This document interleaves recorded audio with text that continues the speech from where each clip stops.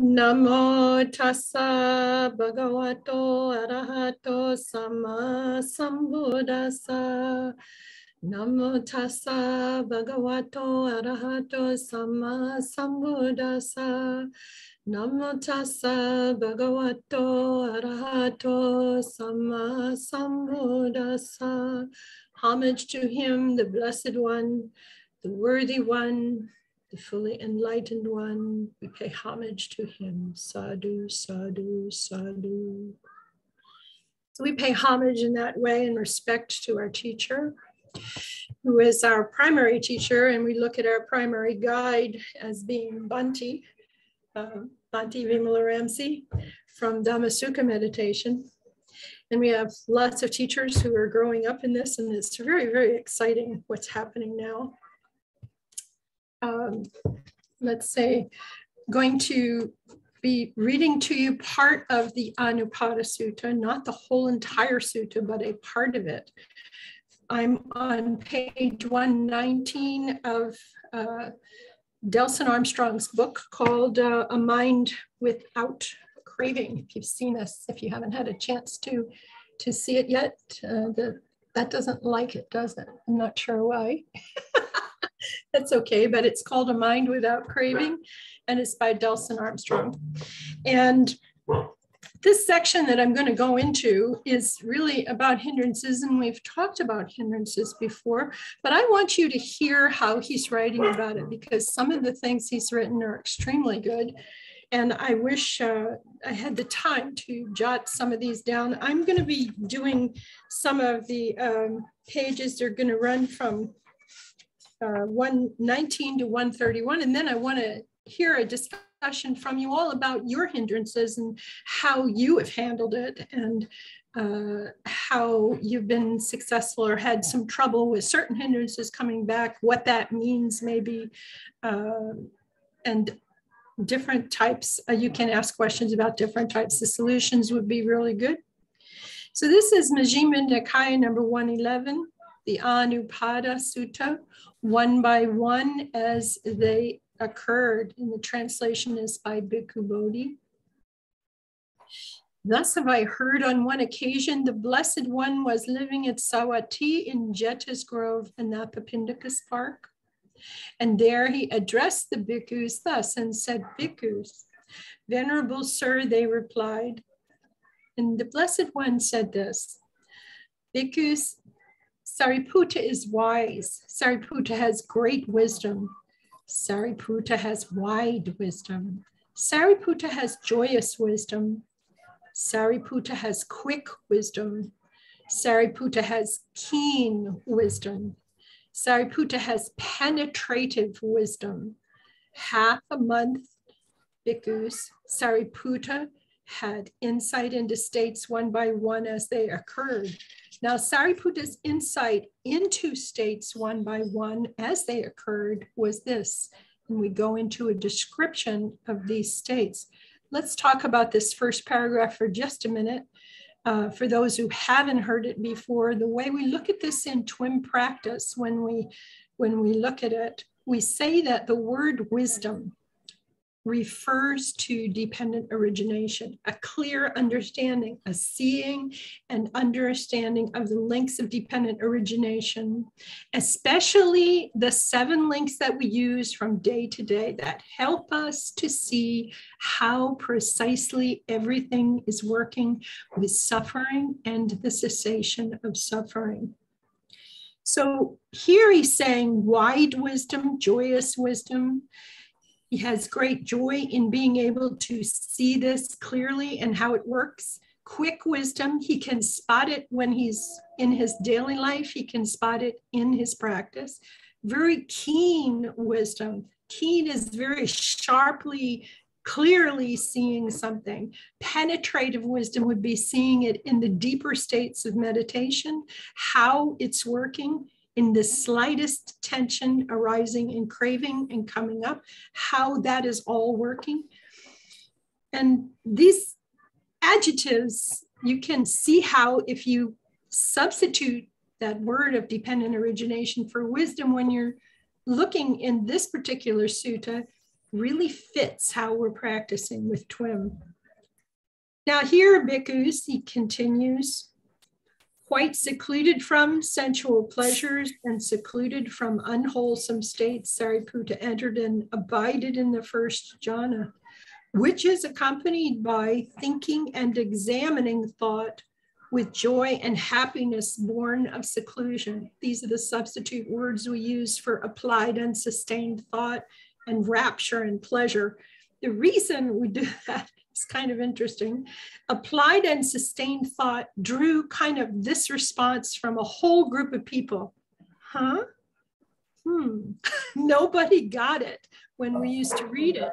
And as soon as Bhante was able to come up with a good substitute for this, he said applied is vitaka and sustained is vichara. So we're talking about the thinking as it first happens, and this is the um, thinking and um, thinking and examining, examining. Can someone turn off their mic? I don't know who has. I'm sorry, it's mine. Okay. Okay. Um, and then the less was rapture and pleasure born of seclusion. The reason that we did that was because of the heavy emphasis on the last days in Christianity, and the rapture is confused when we say this to a lot of people where there are Christians. They think we're talking about the rapture and pleasure born of seclusion. That's okay, but we we say this pleasure is the term pleasure is used so often outside of the meditation that when you're talking about inside the meditation, it's a state of sukha, a contented feeling of sutta, of, of, of, of the sukha the Buddhist happiness. And that's an inner kind of contentment. And, um, you know, actually, I talked to Delson about these words, you know, but he was using exactly Bhikkhu Bodhi's translation. It's great the way he's done this. I'm just pointing it out to you that when we write it, a lot of times we point that out so that you can get the exact thing that's going on in the first jhana. And the states in the first jhana this is important to listen to because it tells you something specific about Sariputta. It's going to tell you the state of mind that he was in when he was doing this practice. And the states in the first jhana, the applied uh, thought and sustained thought, or thinking and examining, the joy and happiness, the unification of mind. And this can be the collectedness of mind the productive unification or collectedness of mind, whichever you want to say. But if you just say unification by itself, it sounds too tight. And that's what we saw the students doing. So we loosened it just a little tiny bit, like tuning a string, and found out we say uh, unification unification. Now we're, we're specifying what we're looking for in the level of the concentration.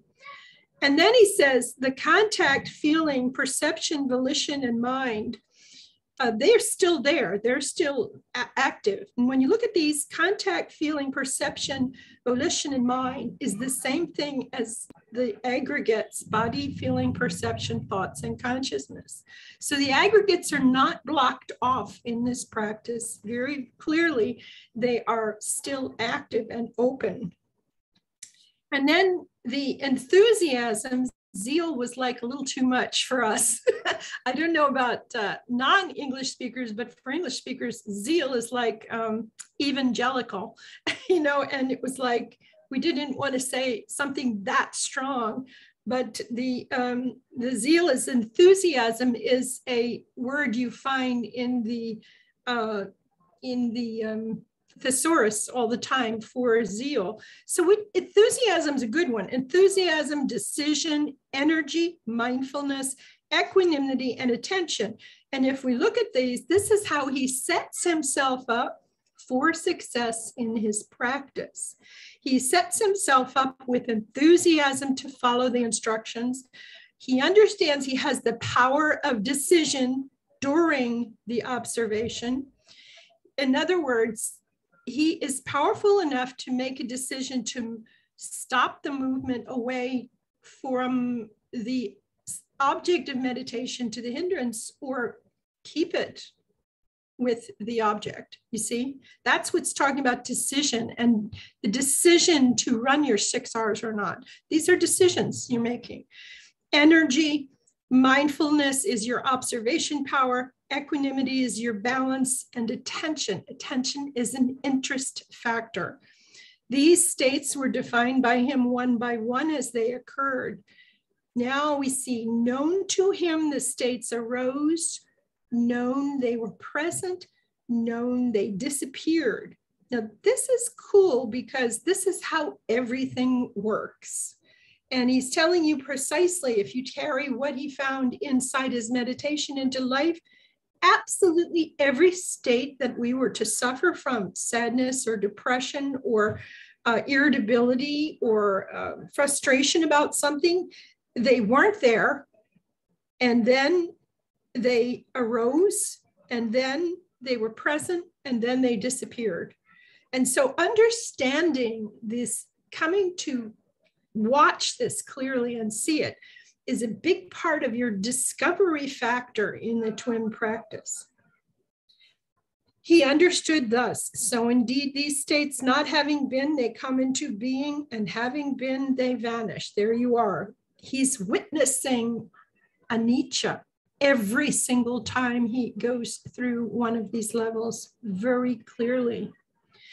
Regarding those states, now this is how he set up his mind. He abided, meaning he carried out his meditation distinctly de- with the determination not to be attracted towards anything, not to repel anything or push it away, to remain independent, detached, and free and dissociated from any uh, judgmental opinion about anything that he was seeing. That's what I want you to understand.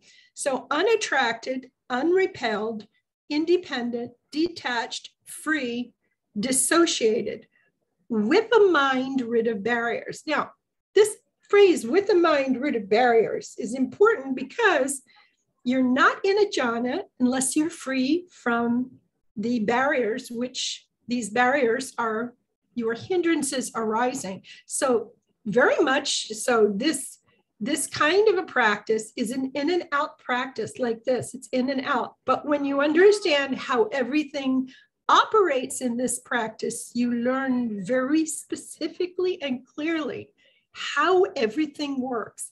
How does the suffering start to happen? What is the cause of it? how can I experience the cessation of it? And how does this work in relationship to your, your practice steps? It's, it's very clear. He understood there is an escape beyond this level. And with the cultivation of that attainment, he confirmed that there is. And again, because the stilling of thinking and examining thought, Sariputta uh, entered and abided in the second jhana. And so the stilling of the thinking and examining the thoughts all begin to slow down.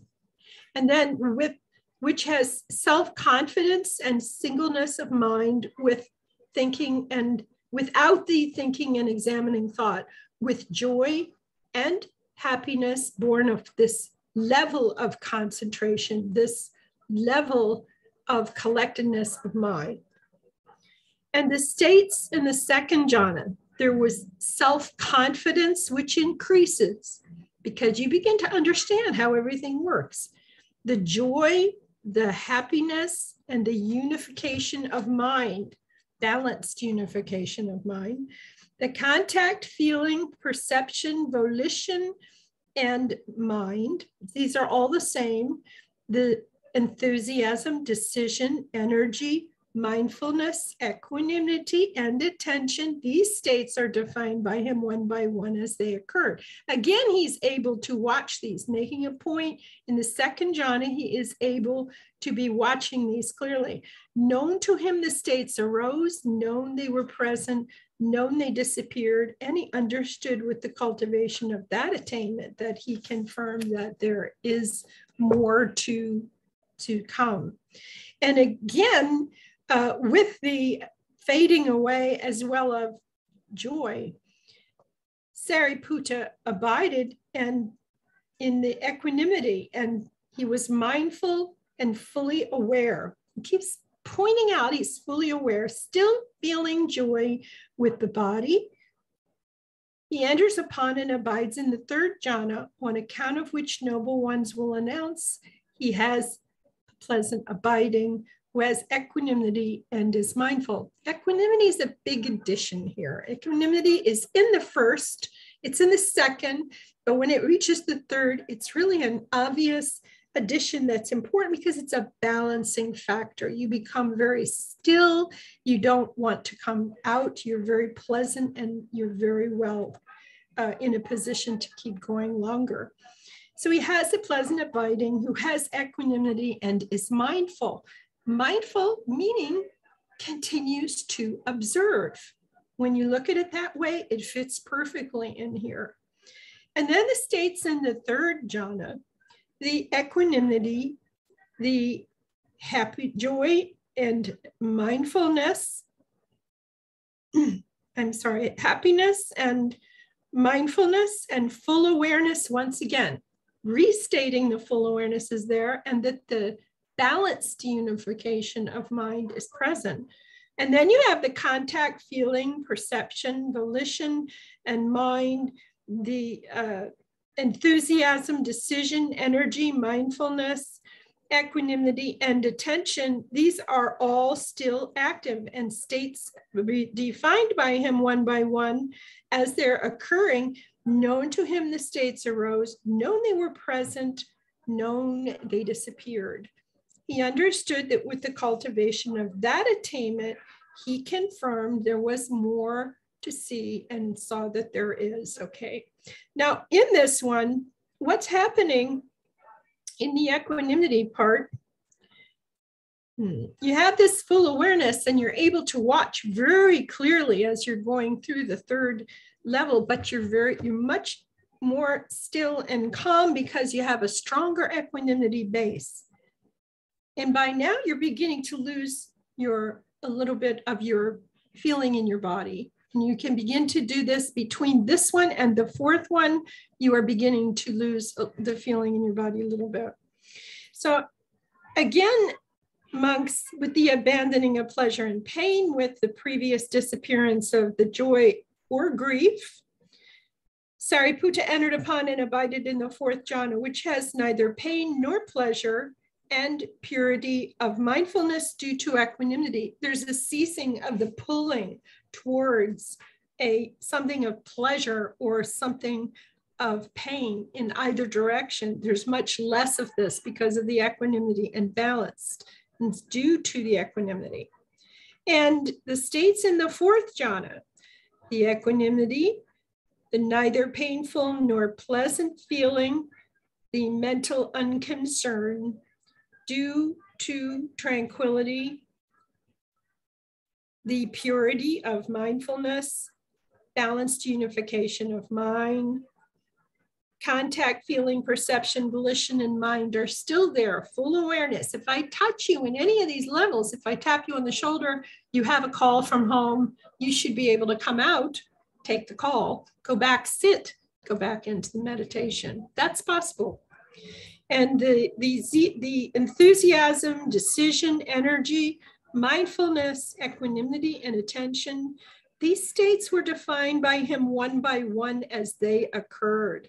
And known to him, the states arose and known they were present, known they disappeared. He watched them as they occurred. And with the cultivation of these uh, things, he confirmed there still is more. He knows there's still more. So now he's going to go into surmounting perceptions of form with the disappearance of perceptions of sensory impact. And we say usually perceptions of gross uh, sensory impact here. Um, with non-attention to perceptions of diversity, aware that space is infinite. He's beginning to feel infinite space. The fullness of your head, the feeling is very likely if you're just starting, your feeling is moving, moving up across the chest area, up into the head, up into here. And Hmm, I just moved myself and lost where I was. Okay, and he begin to feel when this is happening, the base of infinite space, we're beginning to feel a fullness in the head. It's like we usually to ask you the question without saying, are you in base of infinite space. We can't say that out to you, but we'll say something like, do you feel a fullness in your head? Or do you feel it's like, like a balloon that's full, a full balloon that's pressing with helium in it, sort of pressing? Or when you close your eyes, do things kind of move away from you? These are the indicators, any of those are indicators enough uh, for me to say, okay, it's time for you to maybe uh, start working on the other kinds of people. That's a, a point where you want to pick up on this, that it's time for that to happen. The um, indicator of base of infinite space is a, is a good sign for that part too. And the states of the base of infinite space, the perception of the base of infinite space, the productive unification of mind, the contact, feeling, perception, volition, and mind still active, the enthusiasm, decision, energy level, productive mindfulness, equanimity, and attention. These things are balancing, these things are balancing out for you, and these states are defined by him one by one as they are occurring. And known to him, those states arose, known they were present, known they disappear. And he understood that with the cultivation of that attainment, he confirmed that there is still more to do.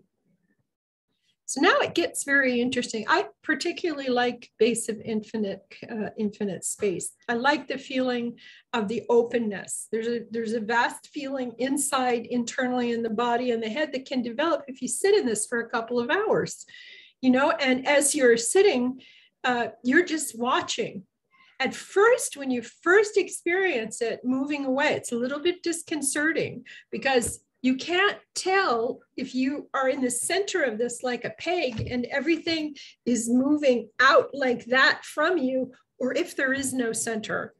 But there isn't a center. And you keep watching and you realize there isn't a center. The point is that you're moving into the mental states here. And so in the mental states, you're not there anymore. You've lost feeling in the body. Most of the body can be gone, or even part of the body, and it'll continue to disappear up to here usually, but for some people, it'll go all the way to the top. And later on, when you're practicing longer periods, it just you just disappear because you don't you don't have any concern for a me in the equation of watching the practice. You're looking at what is this whole process what am I watching? You're curious about that. And you're not thinking about it as a me. And I am watching as much as just a pure kind of observation of con- consciousness. Now we come to again, monks, by completely surmounting the base of infinite space, becoming aware that con- consciousness is infinite and Sariputta entered upon and abided in the base of infinite consciousness.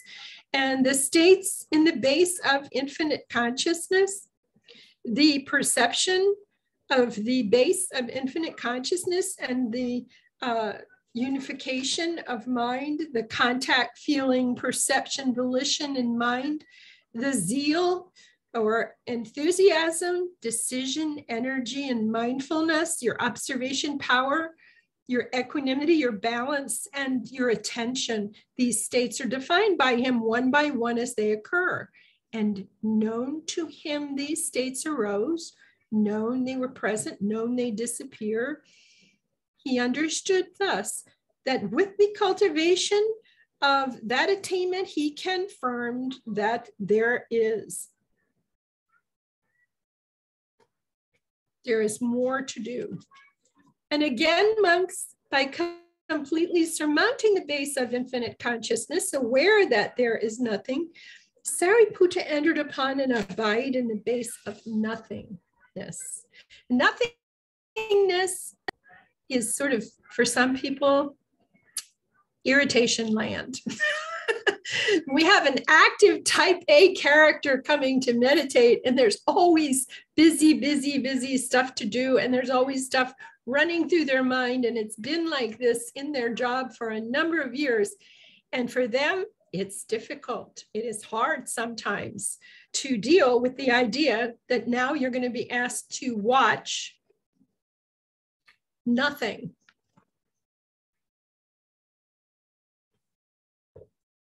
And the states, uh, by completely surmounting the base of infinite consciousness, he, I'm sorry, he comes into this nothingness. And Sariputta entered upon and abided in the base of nothingness. And and the states in the base of nothingness were similar with the perception of the base of nothingness and the unification of mind. There's the contact, feeling, perception, volition, and mind. The enthusiasm, the decision is still capable of decision here. Energy, mindfulness, you, you manage your energy and you manage your observation. And the equanimity and balance and attention, you manage those. And these states were defined by him one by one, the state was a known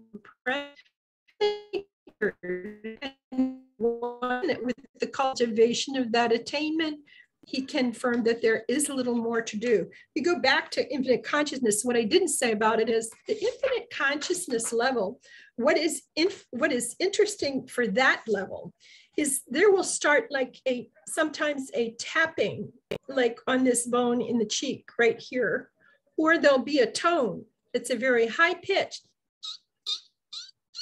inside the head that is is a, a tone that is happening or there can come the lights that come across the screen from you know from the screen in front of you that you're watching and the lights are just going like bloop, bloop, bloop, bloop, bloop, bloop, bloop. It's like the flickering of an eight millimeter projector. If you can have ever seen that, where it starts to flick on the film like this, the light, and then it will slow down if you just calmly back off and just sort of watch. It'll slow down from going like this to going like that. And then it'll just be like that and then it'll get slower. Now, why, how can it do that? you know, how can it get slower? And what is actually causing this to appear for it to get slower? And I had this discussion with a neurologist. He said, well, it's not quite like that. And I said, you know, what I'm going to tell you is not quite like this. I understand that because the brain is not going to slow down when you meditate, but it appears like everything is slowing down. How can that be? Because if your observation is speeding up and you're surrendering to just watching, it gets sharper and sharper. The awareness and the observation gets sharper. And so if it catches up with the speed of this, and then your observation is about the same way like that watching it. You see? Then all of a sudden it looks like it's slower. He surrendered to me and said it's a good way of explaining it but it would be a lot more science involved in it than we want to talk about in going to explain integrally what is really happening with the brain and what is happening with what's going on inside with your observation in the brain. But it's reasonable to explain it to a student that way if you're teaching, because that's exactly what it appears like. And you can begin to watch things going very, very slowly. And you see them quite clearly, which makes you realize Sariputta really did practice this way. He really was able to see this. So again, monks, the completely surmounting the base of infinite consciousness, where that there is nothing, as I said, we went into nothingness. And nothingness, as I said, it can get very frustrating for me to ask you to watch nothing after you've been watching something. And it feels like you're going back to being 15 years old and saying, okay, where did it all begin? and you're saying something came from nothing at some point in time. You want to go there with the creation of everything. but it's not quite like that. You have to challenge the student, and I'm talking from an angle of help, trying to help teachers. If you're trying to teach anyone, what do I tell this person who had so much running through their mind? What am I supposed to tell them? The most successful thing I've had with this to explain to uh, someone and then have them go back and it works fine is to ask, ask them to let me personally hire them as an explorer.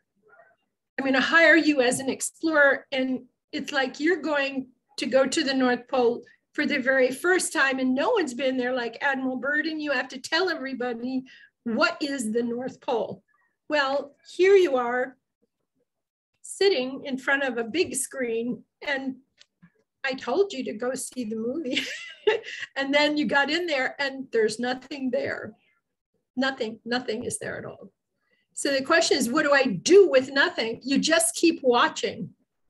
And this is very frustrating, as I said, for the person who's been in charge, in control, and taking care of everything like an office manager person, you know, is like, what do you mean just watch? There must be something I need to collect, organize, file, and remember, or something. Mm-mm, there's nothing and it's a it's a level to get you to a place where you can actually experience the next level so let's here go here completely surmounting the base of nothingness sariputta enters upon abides in the base of neither perception or non-perception he emerged mindful from the attainment and having done so he contemplated the past states why is this one different ah because he's neither perceiving what's going on or not perceiving it. What does it mean? The defining of this in the Visuddhimagga and also in other writings about this over the years has basically been pretty accurate in saying you don't know you're there when you're there. And when you come out of your meditation, you come out of your session, the reaction basically is going to be what just happened? That's what you want, you're asking. What exactly just happened? Was I sleeping or was I actually meditating? And the suggestion is the instruction is that um, you stay seated for about four minutes or so, three or four minutes, and you just tell your mind to recall and see what comes up. And anything that pops up into your mind, uh, it can be a color, it can be a pattern, it can be a brief movement or wiggle.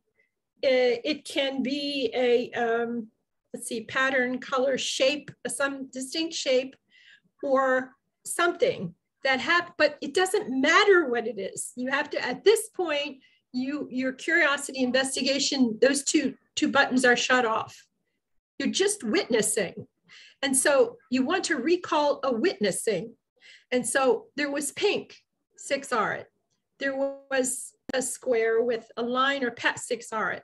There was blue that was the six R it. So it's this system is six r is doing right effort, right striving immediately on it and just letting it go. When it stops popping up, and it's you not usually a long time that it keeps doing this, uh, then when you take a walk, if you get up slowly and you start your walking, it might still pop into your mind while you're walking six R immediately, six R immediately. So what is this message, the six R-ing uh, really saying about hindrances is if we were to step back a moment, if you did any other practice and just pretend you don't know anything about hindrances at all, and go to what the Buddha is instructing us only to what he said to his monks about hindrancing.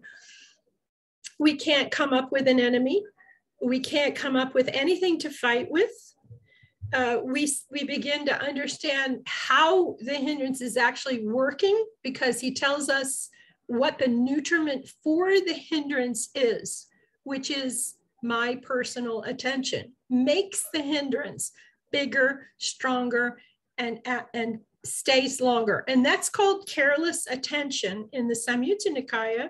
It's called careless attention on anything that arises will prevent the enlightenment factors from coming up. At this point in the game, I would say roughly from the uh, level of nothingness and then neither perception or non perception, at that particular level, especially, okay, before it all, it all stands as well. But you really want to remember what we teach you in the beginning of your training about specifics on hindrances. What is the hindrance? How does it work? What is its nutriment? And how can we have the cessation of hindrances occur without any struggle, without anything powerful or pushing or trying to suppress, subdue, what are usually i usually say destroy annihilate eradicate suffocate suppress subdue stop the hindrances none of this is in the text. And we tried to find it. I tried to find it once. I got so frustrated. I said look 80% of the people or more that i talked to are struggling with hindrances really hard. In many different practices there must be something here in the text that told them to do that and I went on a journey search and sort of it's we call it used to call it um, um, in a Bible we would call it scripture chase. I wanted to find the scripture, the texts that said this is an enemy. I have to kill it. I have to stop it. I have to subdue it and bury it and make it so it can't bother me. There's a big problem with that, though. And I knew that in the beginning when I started the search, and Bhante sort of smiled at me and let me do it. you know, he smiled at me and he knew perfectly well what was going to happen, but he let me do it anyway. And I searched and I searched and I searched, and there wasn't anything there. There's only one sutta that might not even belong in the in the Majjhima Nikaya that you would question. And the reason I'm saying that sutta might be one to really question is because there is one sutta out of 152 that treat things really, really roughly. And there's no other one in the 152 that supports it at all. But if we look at the fact uh, that you should be allowing it and letting it arise and just leaving it alone and letting it be and believe in the facts of the knowledge the Buddha is telling you about the hindrance, then it's just going to fade away. So the number one thing it's going to tell you about the hindrance is there's nothing in anything that arises that has anything to do with improving your meditation or reaching nibbana if you were to take it and start to try to stop the hindrance there's no reason to be doing that. Number number two, you do want to eliminate it. And what I discovered is if you follow the Buddha's precise instructions for how to manage the hindrance, guess what happens? It becomes destroyed and annihilated and eradicated. and I'm there like, look at this, it becomes destroyed and eradicated and it's it's going to be gone. Well, how did that happen? Because I took its food away, because I denied it personal attention. And why is giving it personal attention so wrong? Well, because of anicca dukkha anatta. You see, because because the hindrance, first of all, is always going to not be there. Listen to the phrase you heard it a number of times in here, uh, in each one of these sections. You heard me say um, known to him, defined by him, one by one they occurred, known to him the states arose, known they were present, known they disappeared. They always disappear. They always disappear. But you're denying the law of anicca if you pay attention to the hindrance. That's number one. Number two, he tells you in various places that whatever arises, whatever um, object arises will not become an obstruction unless you personally engage it. What does it mean to engage? I love the student that asked me that. Immediately raised. What does it mean to engage? Well, I would say if I tell you to stay here, and this is where the object of meditation is, and you go over there to May, next to me. Okay. And she's she's the let's say that she's the hindrance. Okay. If you move over there and say, who are you? That that is engaging the hindrance. If you even move away from where I am to go over there and you're halfway over, that's engaging the hindrance. If you even feel the tension arising right here, thinking the picture of May in your head, okay, and it's starting to get tense because it's not part of your object of meditation, it's time to do the six R's. Now, this is a remarkable point in training for those of you who have ever done Vipassana. Wake up, hello, because if you've done Vipassana, you were studying, you were practicing the awareness in your body, anywhere in your body, of tension arising. That's what you were doing, isn't it? And so when they explained to me what they were doing, I say, aha, that's why on a chart of 20 students, five of them are going click, click, click, click, click, like that with their six R's. They're moving right along. And why are they moving right along? Because I told them a secret they didn't have, they didn't hear it before. Craving always manifests as tension and tightness in the mind and in the body. It's the I don't like it or the I like it mind. That's what it is. So when the moment craving starts to form, just starts to form with the thought of May, no offense, with the thought of the of the uh, the uh, hindrance, the moment it starts to feel this, and the low, the more you're practicing the six R's, you are reducing the tension in your body. So if you are practicing your six R's correctly, every time you do the relax step, you go loop there, and now we're practicing, and we think of we go over, we let go, we come back, and we next time we relax and smile and come back, you're lowering the tension systematically in your body. This is a remarkable practice. You're doing right, striving the right way. You see that? And so the lower the tension becomes, the earlier you can detect the arising of tension or concern about a hindrance.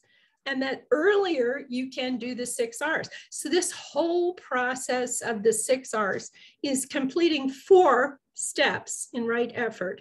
The first one is to recognize the unwholesome mind state, which is a tension and tightness and concern over something away from your object of meditation. Mm-hmm. So that first one is to recognize, second one is to release it, release it, and we bring in the tranquilizing step in the training of the Anapanasati, which has the full set of instructions for meditation, tells us tranquilize on the in breath, tranquilize on the out breath. So you relax the mind. Why the mind? Why not tell us to stop and do a scan and do our whole body from our head to our toes? Well, because the Buddha went one step beyond. He's the Buddha. And he went one step beyond. And he said, what we're going to look at here is where is the control center for the whole shebang, how the whole thing works the whole body. It's up here. So if you relax this, what do we know about Nama Rupa? Do you see how all these are woven in together? They're all woven like this together. So when you say, oh, Nama Rupa, oh, yeah, uh, mental and physical, the combination of the mental involvement or the Nama Rupa relationship of mental and physical body we take it to that place. And if I relax my mind, what happens to my blood pressure? What happens to my heartbeat? What happens to my stomach system, my gastrointestinal system? What happens? It all relaxes. There you go. So I'm not surprised when I figured out, well, the Buddha just went one one upmanship on this whole thing, and he went one step further, and he said there must have been a key, and he figured out the key. And when he relaxes the mind, it relaxes the body. So you don't have to stop and do a scan. I have people who were insisting on stopping and doing a scan, and they weren't increasing their time for their meditation. I'm there. Why aren't you increasing it? Well, what are you doing when you relax? Well, I have to relax. They were giving me numbers. I wish I had my pen, but I can't use the pen with this, uh, this computer. I haven't figured that out yet. Um, and the, the numbers I take when you come to me for interviews, what I'm asking you for is how long was your longest sitting? So somebody says two hours, okay? That's 120 minutes, okay?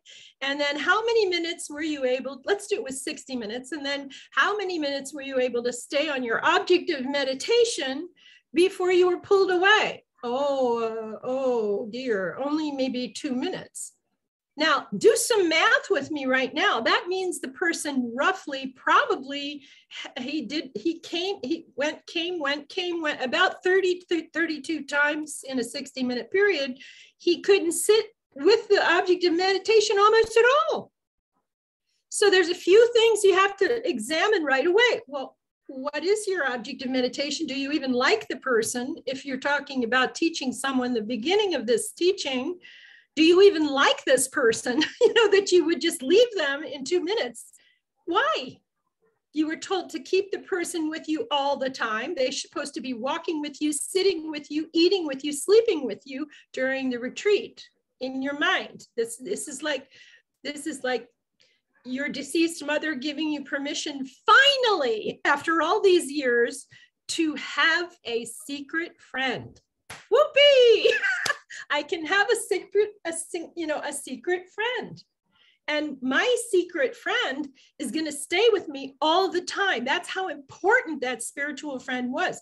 And we, if we don't keep emphasizing that and emphasizing it, if we, if we assume the student understands this lost game, I didn't understand it. He needed to tell me at least 40 times. you know but most most retreats you watch there are students that will just do what you ask them to do. Fantastic but that's not the majority. That is not the majority. The teacher needs to repeat the same thing again and again. And then the thing that happens to the teacher that Bhante pointed out to me when i was starting to teach he says you're going to want to tell them a different way. Tell them a better way. Tell them your way. Okay it doesn't help and he he tried to do this. When he started teaching originally he said i found out that the really good and outstanding teacher in in uh, TWIM this is what he told me is the one that is willing to say the same exact thing to you 100 or more times until you come to the door and you knock and you open the door and they say to you you know what i just figured out and they say back to you what you said to them.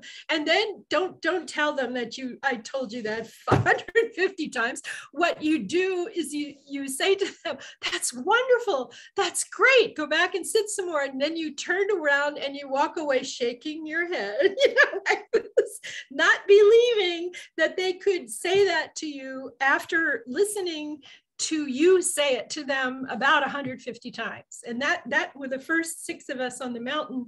That's what was happening first. That's how thick we were. So don't feel bad wherever you are okay? That's how it began. And so this idea of the of the hindrance is understanding the law of the hindrance Number one, it doesn't have any information for you. Number two, how it operates is very, very important for you to understand that it operates on the food that you give it. And what you give it is your personal attention. Okay. And that's what you need to stop. Stop doing the personal attention and come back and just let it alone. Why? If you keep saying why, you should be saying by now, anicca. you should be making a little flag like this, an orange flag with little, you know, black letters on it says anicca, the anicca team. You see, a little, little, um, what do you call it? Team flag. And remember that anicca is your friend in this respect. Anicca may make you irritable if you have to move more irritable if they evict you, you know, um, feeling bad about things. But the thing about it is, this too shall pass away, I guess is the Christian version of that one. This too shall pass away. There it is. That's Shakespeare. we don't know what he was, Buddhist or Christian. We have no idea, but he was pretty good guy. He had some pretty good phrases for people to remember. And he was talking and referring to, when he was doing that, he was referring to uh, the anicca, the anicca system. So that's what you need to remember about the hindrance, basically. Now, the rest of the sutta, he's just going, he emerged uh, from the attainment, and having done so, he contemplated the past states which had ceased and changed. So indeed, these states have not having been, they come into being, and having been, they vanish. There's your anicca again. And regarding the states, he abided always, he abided unattracted, unrepelled, independent, detached, free, dissociated, with a mind rid of barriers. It sounds like a rap song. no, we should learn it by heart. You know, he, let's see, regarding those states he abided, he was unattracted and unrepelled. He was independent, detached, and free, was disassociated with a mind rid of barriers. No more hindrances because he understood exactly how to handle them. And what was that? I, I had that new word. Oh, yeah, Zaudia. Zaudia. Never mind them. Let them go. Let them be. They'll change. And that because by completely surmounting the base of neither perception or non-perception, he entered upon, abided into the cessation of perception and feeling. And we say perception, feeling, and consciousness. We can't figure this out. Perception, feeling, and consciousness, if you draw the little circles and make the little, you know, uh, molecule like in chemistry, you have perception, feeling, and consciousness are conjoined. They cannot exist alone if they disappear, they all disappear. We know this now. You know, perception, feeling, and consciousness turns off, then consciousness turns back on. It's described in 44, and then feeling, and then perception. See, it, it comes back on again. So, and his taints were destroyed by his seeing with wisdom. Oh, what the heck did that mean? he saw dependent origination in this whole thing. His taints were destroyed by his seeing clearly how the suffering, what, what it was, the cause of it, the cessation of it, and how the escape operates. So what's the one about the escape I'm you're always giving you is 148, which appears in other places, other suttas as well. He's carefully, he has carefully observed the origination, the disappearance, the gratification, how you get involved or not get involved, right? The danger of that and the escape, the origination, the disappearance, the gratification, the danger, and the escape. That's what you have to learn in order to experience Nibbana. Once you understand this completely, if you just sit quietly long enough, it all just completely stops and it turns off. Everything turns off. Then what happens when it turns back on is the uh, coming back on of the dependent, the human cognition is what dependent origination is. It shuts off and then it comes back on. And as it comes back on, bang, that's where the opening occurs, okay? So um, your Nibbana. So he emerged mindful from the attainment, and having done so, he recalled his past states, which had ceased and changed. And so, indeed, these states not having been, they came into being, and having been, they vanished. Regarding the states, he abided still unattracted, unrepelled, independent, detached, free, dissociated, with a mind rid of barriers. He must have been a rap singer. Teasing. All right. Um, he understood this is there is no escape beyond, and with the cultivation of that attainment, he confirmed that there is not any more to go. Rightly speaking, were it to be said of anyone, Sariputta has attained mastery and perfection in noble virtue, attained mastery and perfection in the noble concentration. He's perfected a balanced concentration that was a productive level of concentration, which allowed him to see these things. He attained mastery and perfection in noble wisdom. He saw the dependent origination and he's able to watch it in all types of levels of experience. He attained mastery and perfection of noble deliverance because he had reached the end and he went through and experienced the opening. And it is, if of Sariputta, indeed, rightly speaking, we should be said that uh, were, it, were it to be said of anyone, he is the son of the blessed one. He's born of his breast, born of his mouth, born of the Dhamma, created by the Dhamma. He is an heir in the Dhamma, not an heir in material things. It is of Sariputta indeed, rightly speaking, that this should be said.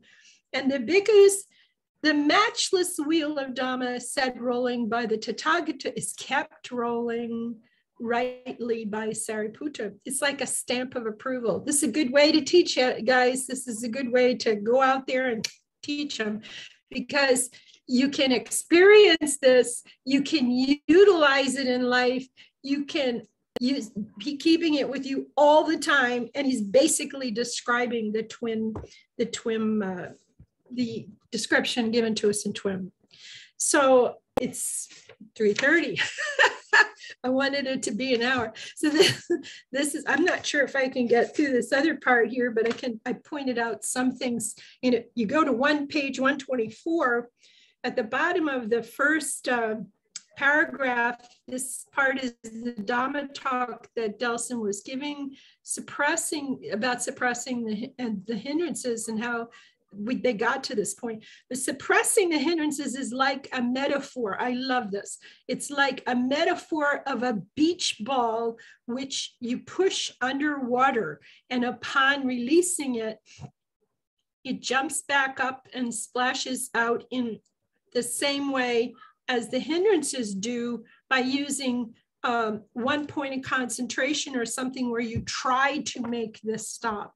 Anything that's disturbing that you try to make it stop, you can push and get like this and get all upset and, and it's not going to help you at all because when you're finished, it's just going to come back again tomorrow and again and again and again. That's what's going to happen to it. Okay. So what it's trying to point out, if you took a beach ball in a pool and you just push it down, you'd have to try and sit on it if you wanted to. This is equivalent to trying to destroy it, er, destroy it, annihilate it, eradicate it, suffocate it, suppress it, subdue it, make it stop. So your whole your whole session is about holding this beach ball under the water, but it's going to pop out. And where we were explaining it to you when you go back into life what happens is whatever you were working on in your session during your retreat the hardest is going to pop back right up in the street and going to come back in in main life because you didn't know certain things. You didn't have a set of knowledge is the only reason this happened. So if you go down the bottom of the page when you generate wholesome quality of mind through one of the Brahma Viharas, you also allow a space for the mind to observe that Brahma Vihara.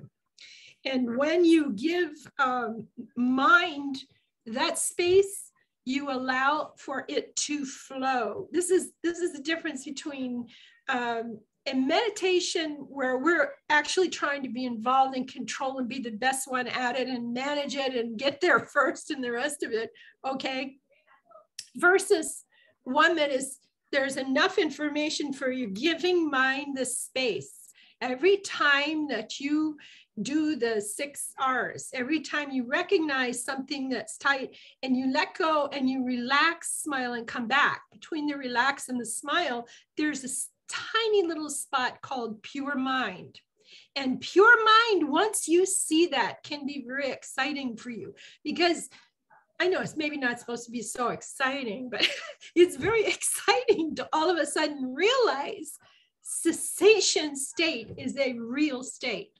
Because what is happening between the relaxed step and the smile, you know, relax, smile, come back. So it's the relaxed step and the smile. Between those two, is so tiny, but you can feel, if you watch carefully, no craving at all. You are not there. It's not happening, it's not there. So you are allowing the mind to free flow. You will see the different factors of the jhana, be, begin to be able to notice them and the different elements within each jhana, just as Sariputta rightly pointed out. You'll begin to notice the rupa jhanas, the form jhanas, which are the first four jhanas, and you'll there is still perception of form in that jhana. When you practice, you take a look. In other words, there's still contact of a form with the outside world. You can still have someone touch you and open your eyes and say, What is it? Okay, fine, I'll do it later, and close your eyes and keep going. If you suppress the mind in any way, you also suppress the sensory experiences. And if even for a second your mindfulness slips, your observation falls down, or you stop paying attention and something distracts you from the outside, it's going to cause an irritation and it's going to cause a further distraction. But if your mind, you keep your mind spacious and open, just like letting go of everything and any sensory experience that arises, you just let go of it, understanding how anicca works. You understand it was there and then it goes away and you let go of any attachment to it through your attention and and your using of the six R's and the four effective applications to come back to your object of meditation. As you keep doing this through the unit, the, the correct level of concentration, then he's calling it a mindful uh, mindset. I'm calling it a productive unification. That's where you're coming back to. Mindset is okay. You want to grab that one and use it. It sounds pretty good. You're you're um you're basically reaching a unified mindset so that you can watch without any pressure what's in front of you and just notice what's happening as you keep going, and there's no pressure. And through this unification of mind, um, the attention that is rooted, you're, it's rooted in reality. So, what is reality? This means that you are paying attention to the reality as it is unfolding. You're not trying to create anything or deviate or any dream, imagine anything. You're watching the reality as it unfolds, even while you're in the jhana this is pure, pure, pure observation. And when you pay attention to the mind observing this way using right mindfulness, you observe, you're observing um, your vehicle of meditation. You begin to understand this meditation that you're practicing was the vehicle that the Buddha was using in order to see how precisely everything works. Okay. And then but you you don't uh, you don't allow the mind to grasp onto the object at all to focus to such an extent that it does not let go of the object of meditation. You don't do that. So you would not for instance concentrate on the spiritual friend and fall in love with them so much that you wouldn't be able to think straight. That's that's one reason we can't another reason why we can't use uh, the opposite sex when we're using that. But when this happens, it would invariably create a craving by holding on to the object in any way. So you have to be careful who the object is you're using. And it would create a restlessness because the mind is just trying too much. Now, all of this trying too much, doing too much, uh, and stuff, remember, we have another issue other than the subject of hindrances. And the other thing that we talk about often here is atta and anatta and learning atta and anatta. Now I'm going to stop. I'm here. I'm going to stop. So anytime you you feel that this atta is active, I want to control. I want to do this. I want to push it here. There, anything like that. That's off sides, off the reservation, because you know that on the reservation there's a set of things. If you remember, treats you a capsule of things you needed to, to learn the material Dharma. If you knew those things on one page, it was, you would be able to know about sort of what's on the reservation and what's offsides. One thing that's really offsides and will stop your progress immediately is getting involved personally in anything or anything you can bring back to I am doing this. I want, I must have, I try, I this or anything. The moment you realize you're doing that, you realize you're going offside. Stop a minute, come back, look at it and say, no, no, no. She said, just watch to see what happens next when you sit in meditation. I'm going to stop here. Next time we can keep going from the same spot. I thought you need to tell me if you're interested in this or not. If you are interested, we'll, we'll keep going because some of this is really good the way that he's writing it. So throw up some questions now for about 10 minutes and we'll call it, okay? Hmm? Jay, I, see you.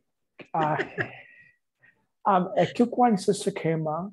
Uh, most of the time when we meditate, or sometime when we meditate, like you uh, said earlier, you're on the object of meditation for say five minutes or maybe 10 minutes, um, then um, our attention diverts or uh, you know you are moving away from the moving away from the object but you are still aware that you are you are doing that.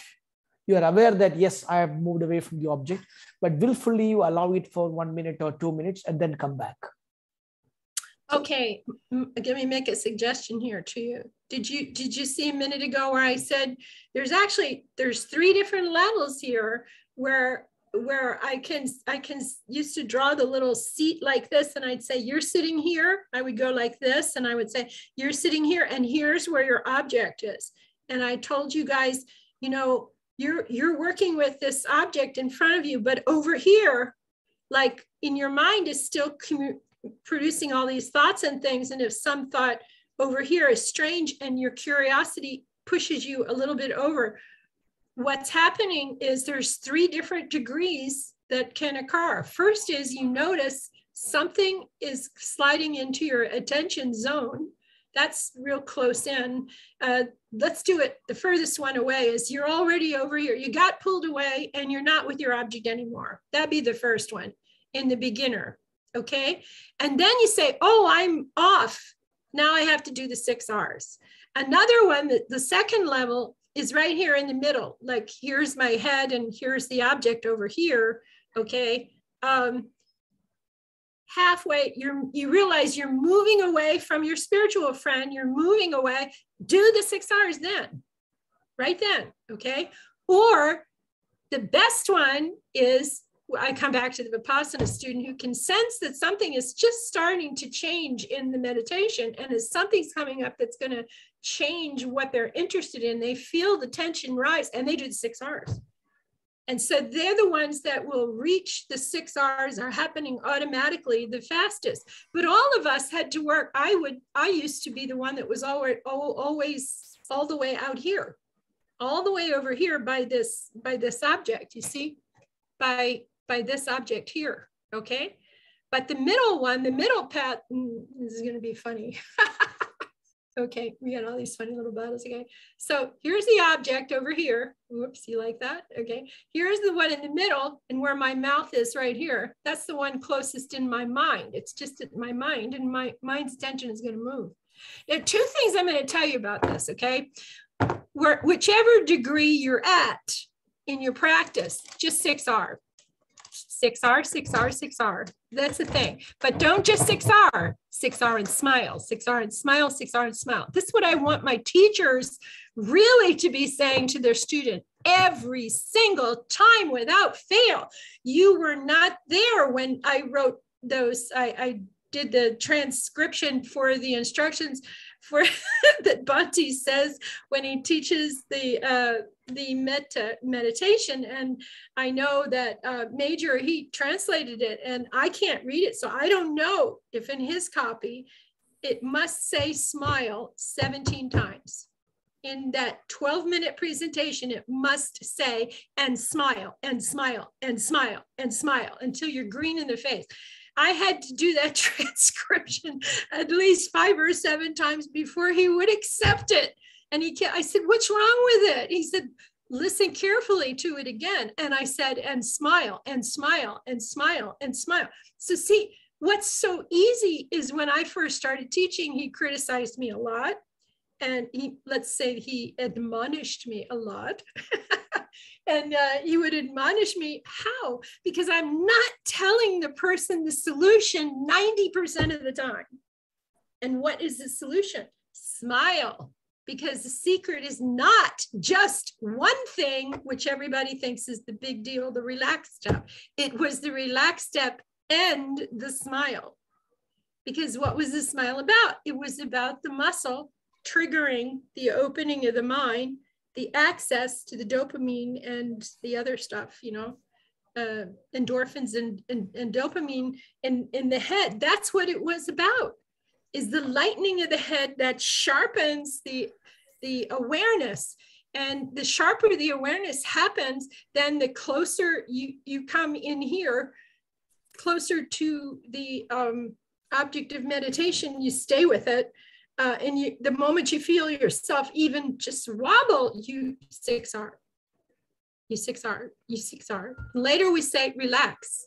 When we're in quiet mind, we tell you and relax. And the relax signals the six R's. It's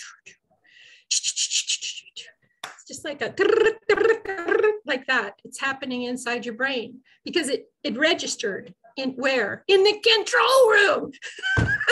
you see, in the control room. Okay, so what's the question? Do you have a question further on it? Uh, what I'm saying is um, the awareness is still there, but it's like a dimmer switch, you know, it just gone down and then it come back quickly. It is, I'm not fully off the track with the object of meditation at the same time is slowly, you know. So you're not at level one all the way off and you're not no, in no, the no, middle, halfway off. It's just yeah. beginning to happen. Yeah. You do it just then, then you notice that just then you do it. Wh- which level are you in the, re- in, in the quiet mind or where are you? I, I think I'm, I'm, I'm, I'm unable to, when I sit in a meditation now, um, it's automatically goes to a very quiet, quiet state. I, I'm not able to generate. Nothingness. So you're up in nothingness area. I'm not able to generate, even if I start with a, um, a loving. I don't kindness. want you to start. I want you to just tell me where it's happening the moment I sit, close my eyes, it's immediately goes, everything goes quiet. Okay. Like Good. off. Okay, fine. Then you keep going and you just sit and just to see what happens next. That's the only reason you're there is just to see what happens next. No opinions. Yep. Okay. Any any feeling, any aware awareness is equivalent to tension. Yeah. See, it's like this. There's a sensory trigger and then this starts and then there's awareness. You see that awareness is out here but the sensory trigger was in here. The tension the sensory sensory trigger the attention the awareness. See? So the moment you feel it you keep telling the brain zaudia. Zaudia just let it go. Never mind it. And stay with just your observation clearly in front of you okay. So the mind automatically goes to its its state that time even if i start with a loving kindness but within a minute it just everything stops. Why are you starting with loving kindness when you sit? Um, i just started it like that. Uh, it, it's not no no specific reason. But immediately what i'm saying is you don't it's such a yeah, but just, you, when you're saying i'm I'm to the level of like nothingness. When you sit, you should start with the directions. Always okay. start with the directions yeah, yeah, yeah. and let yourself fall in, just fall in to where your level is that you're working. Okay. Okay. So you just do, and you did, if you went through one time, if you went through one time, you can do it at three minutes each direction instead of five minutes. Okay.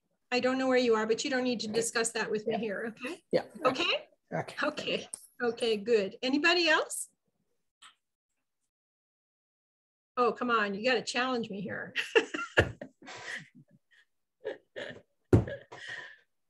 What's going on? Hello. you Sister, is there. How, how is your, how is your health? Uh, my health, I'm feeling a lot better from this cold. It's dying out. I, I actually have a voice today. That's a tremendous thing. Um, I did a corona test that turned out I didn't have to do it yet. That was funny. But I did the corona test and I'm negative. I knew I was negative anyway. Uh, but then the test came back negative. Um, I have to go to the, uh, um, I think tomorrow morning I have to get in touch with the um, the dentist that's at JJ Hospital. She she has a good idea, and she saw the X-ray. She has a good idea, and I know somebody where she fixed some damaged teeth, and Okay. so so she has an idea that because there's one third of this tooth left, that maybe she can put a, a crown on it and then use it for uh, a a uh, post for another bridge. This is quite a nice idea if it can happen. So I want to I want to go over there to to that make the journey over there to um, find out if that, if that's really uh, what can happen after she looks in the mouth. Okay. you know yeah and as far as the legs are concerned we're, we're it's a toss up between jj hospital and then uh, i guess um, another hospital was uh, barat dr barat had a different hospital he wanted me to consider um, but i'll let them both look at the legs um, yeah so I'm, I'm going to have to raise some money from this I, for this i do have to do that i've never never asked for money before I, but I'm going to have to do that, I think, because the family uh, cannot afford to do the whole thing for me. And I'm going to have to figure out what I have to do. That's all I can tell you right now. Okay. But it's, it looks like the two legs, both, all three hospitals, basically, two of the three hospitals have said that the two legs will run six lakhs. That's what they told me. That's all I know. Okay. Yeah. And the other hospital, I haven't, I didn't talk to them yet. So if I go over there to see the dentist, she said she would take me to see the orthopedic doctor there. But they're starting to hurt the legs more than they were. So, Mhm. but it's okay. I mean, it's life. what are you going to do with it? you know, there's no way to fix what's happened here. I'm just, you know, that remember you guys have heard the story of what happened in Goa, you know, when I arrived on the plane with with Bhante and they wouldn't let us in. Essentially if they wouldn't let us in because we had a condition. And you have to understand, I think it's pretty remarkable uh, when you look at this story that we got as far as we did before somebody said this to us. I think that's the funniest part of the story. But as we're coming off the plane, uh, the doctors and nurses are checking people and we didn't have temperature but they put us aside because he was in the in the wheelchair and then they came over to us after everybody else had been processed through uh, and they said now you two are going to have to go to the hospital and we i just looked at them and i said why and she looked at me like you know she kind of looked at me like this you know the doctor's beside her and she has this this uh, thing. She goes looking like this at him like what is wrong with her? Doesn't she understand why she has to go to the hospital? And you know and and um Bhante's just sitting there quiet. He's i don't know he probably picked up on what it was but he didn't say anything. And then i said seriously why do we have to go to the hospital? Neither one of us are sick. We've just done six retreats and a pilgrimage and we're perfectly healthy and we've been isolated for months. Why do you want us to send us in a place to a place where everybody's sick? And and she looked at me and he said well it's because of your condition. And i said what condition? And then she said it. Well you're old. It was like i just cracked up laughing. I said you know i'm really only eight years old. I'm 71 is seven plus one that's eight. I mean what's the problem here? And she looked at the man the man beside her and looked at me and just started thinking what's wrong with this person? And Bhante when the moment the lady said that that um, this is what cracked me up you know the moment that Bhante was sitting in the chair and the woman said uh, you're you're old he actually performed the exact thing that happened to Sati, son of the fisherman. And I marked it in here so I could find it. Um, he said, um, yeah, here we go. He sat in his wheelchair, silent and dismayed, with shoulders drooping and head down, glum, without any response. and I thought, geez, that's amazing. He just did that right in front of me. And I'm there like, neither one of us had had anybody, honestly, to that point in Goa, actually look us in the face and said, you know something? You're old.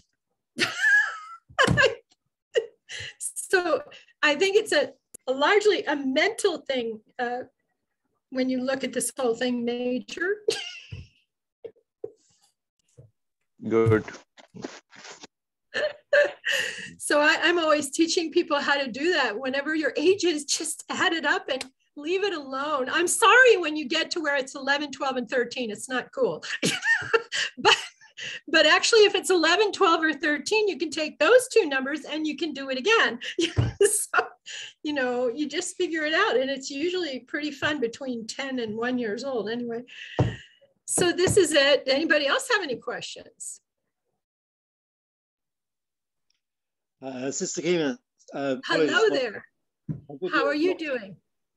I'm good, yes. Um, uh, we don't have a video today. Um, you mentioned just something in uh, an earlier part of the talk. You were giving uh, examples of different presentations in nothingness when uh, uh, you were talking about a high pitched tone and a, a, tapping on the cheek and that sort of thing. Can you just just quickly go through different presentations of that same experience? Okay, that's actually infinite consciousness, not nothingness. And I probably confused you because I read as far as nothingness and I backtracked and explained infinite consciousness before I explained nothingness. I'm sorry, I, I misguided you. But um, those three examples are basically the kind of thing that can happen for the student in infinite uh, consciousness. Um, is that you have what you're actually getting still enough that you can experience consciousness is happening, but they're happening very fast at first, you see? And so th this can happen in the same way that I was describing how the lights are popping up fast like this, you know, and they're going blip, blip, blip, blip, blip, blip, blip, blip, blip, blip, blip, like this across, this, across the screen really, really fast. And then they slow down. And it's interesting because if you're paying attention and just observing, you're not a hard attention, just an interested observation attention, okay? You are just watching these lights. And if you're very calm, the calmer you are, the faster they're gonna slow down. And then if they slow down, it'll be like a blip. And as it comes up and then it fades away and a blip and then it fades away. And our favorite question is to ask you what happened before it popped up. And you have to tell us. Okay. Okay. And then the same thing applies if it's a tap on the cheek or mm -hmm. if it's a if it's a sound that's occurring repetitively in the ear. Those are the three things we've experienced with students. Okay. The the um the the lights when your eyes are closed or your eyes are closed and you start feeling a kind of tapping that's repeating here. It's consciousnesses, consciousnesses are happening. Okay. Okay, that's very helpful. Thank you. Okay. You have anything else?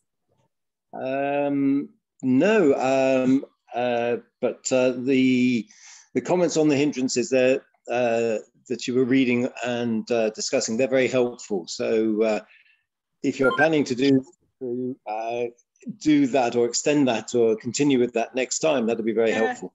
There are more, and I would like to keep going from page 126 to um, I think it's 131, get through where I had underlined everything in that, um, takes you through the, um, through what's happening in compassion, empathetic joy, and equanimity.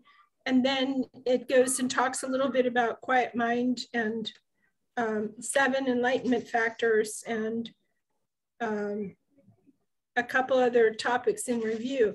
And I think it would be really fun to work with his book and it would help me. I was going to ask you all need to tell me if you want to do this, but the book is written very well.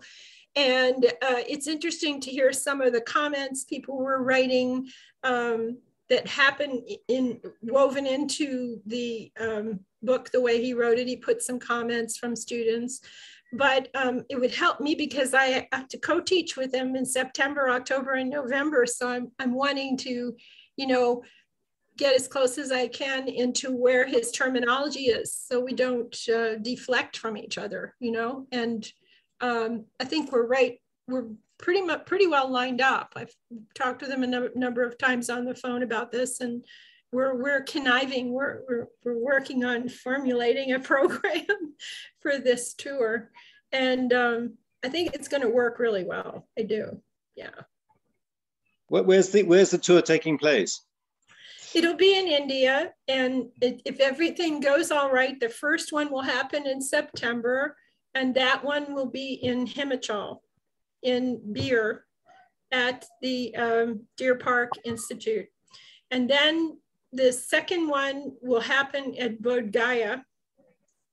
And uh, that one will happen uh, something like 12 days after the other one finishes. They'll be staying, we'll be staying up there for about six days just to see some things, you know, and then um, go down to Bodh Gaya and see some things and do a retreat in Bodh Gaya area. And then from Bodh Gaya, we will go over to Nagpur, fly to Nagpur and we will do um, two retreats at the new center that is uh, going to be dedicated in March, this March. Um, and it really is going to happen. It's it's going fast now because they're only working on the inside and, and the grading and everything and uh, landscaping on the outside. So that will be at Jetvan Monastery. And one of the there's probably going to be two retreats that take take place there because we got um, well we had something interesting happen we thought we were going to go to um, southern india but the place that we were going to had only only monastics can teach and so they asked me to come back next year, you know, and I said, okay, I'll be back. but um, we can't go together because he's not in robes. And so we were held back from co-teaching there. Yeah. He's okay. not ready to put robes on, but he probably will. I'm just going to say that he can laugh at me if he hears this, but you know, maybe he will, maybe, but he's in robes now, and their rule was very strict. So we couldn't do that. So we'll do two retreats at um, Jetvan in the new facility. Yeah. Now the new facility will hold up to probably 125 students eventually uh, when they finish all the rooms on the upper upper part. But the lower part is completely done inside and the huge Dhamma hall. And this is a very exciting thing because the Dhamma hall for Jetvan Monastery is going to be dedicated in the name of Dhamma Sukha Meditation Hall. Wow. That's really, yeah, we're really happy about that. And the uh, highest um, political representative from Maharashtra is coming and he's doing the, um, the dedication ceremony and everything. And after that, special time. I'm supposed to be able to attend to teaching 100 monks, and that's going to be my next challenge. So I'm hoping this this goes well. Uh, we all we already designing a way where they don't even have to see me. yeah, this is very funny, um, but it's it's actually a tradition. You you don't. I think part of this is Bhikkhunis don't normally teach monks but I've been asked to do this and I, you know, I'm in a different status anyway. And, and so by going over and setting it up the right way, we, we intend to do it in a very traditional fashion. So you're not going to be seeing me, except you might see what I draw on a board on a screen. That'll be new. May's been to a couple of my whiteboard sessions that'll be a, a new experience to draw on the board and have you see it above. Mainly because I have so much fun on my whiteboards, but that's okay. I mean, I can figure out ways for you still to smile. Okay, and so that will be very interesting because we're teaching them baseline, baseline TWIM practice will be taught to them. And the idea is that they will be able to, to learn to teach uh, the villagers and things like that in a very simple way how to do TWIM. So we're, we're I'm, I've been spending time working on designing that program also. In the when simplest, hmm? when, when, it will be? When, when is going to conduct That's a good question. I can't tell you the dates on that because I don't have the dates for the dedication for Jetvan, And that has to happen first. And then I guess this follows that program. So I, I have a feeling, well, let's put it this way, Sarma, I'm hoping, you know, because my this hospital thing is going slowly coming into being. And I need about five or six days in the hospital. And then I need about two or three weeks to get really strong, my legs to get really strong. And then I, I'm ready to move over there and start doing stuff there. One month minimum. Mm, yeah, about that so that's it just didn't fall into place as fast as I thought it would, but it, it will, it will. Everything will just flow like a river. it's a good thing I did a lot of canoeing in my earlier years. we just let the, the river carry us downstream and hope that we reach the ocean. That's the best thing to do. Okay? Yeah. So everybody done? Yeah? And my bell is really happy. My bell came back to me in the in the packing.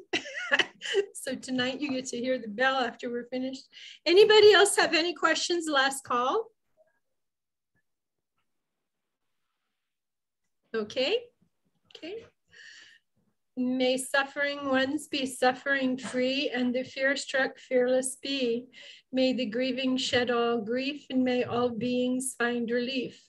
May all beings share this merit that we have thus acquired for the acquisition of all kinds of happiness. May beings inhabiting space and earth, devas and nagas of mighty power share this merit of ours. May they long protect the Buddha's dispensation. Sadhu, sadhu, sadhu.